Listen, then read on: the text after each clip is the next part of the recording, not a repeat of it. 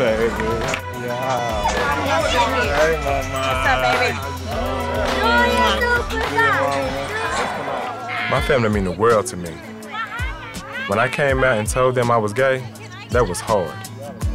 When I found out I was HIV positive, I waited a year to tell them because, honestly, I was afraid they would reject me. How we doing? I'm good. You look good. Thank you. Look like your dad. Tell Yes, ma'am. What you doing, baby? You all right? You look good. Thank you. You eating right? Yes, You ma'am. know I am about that. I'm so proud of you. Oh, yeah. You mash your fingers? Oh, you got This means so much to me. It really does. I thank you for so much for supporting me because it wasn't hard for me to tell you that I was gay when I, I thought that you were just on No, I wouldn't. And No, the fact that stop.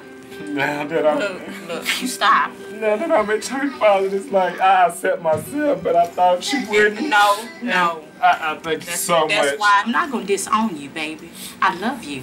You hear me? Yes, ma'am. You still got big and better things to do. I need you to focus. Yes, ma'am. You take your medicine. You eat like you're supposed to. You're gonna be here, baby. Be positive. Don't take no negative. It's like I, I, I don't want to be a disappointment. No, you're you. not a disappointment. You're not a disappointment. Things happen. Ain't nobody perfect. You don't worry about what nobody else talking about. You got supportive family. Everybody that's here is supporting you, baby. That's all you need to worry about. You don't worry about other people out there in the streets, okay? We got you. And I never turn my back on you. You know that? I love you. You hear me? Stop it. I love you, baby.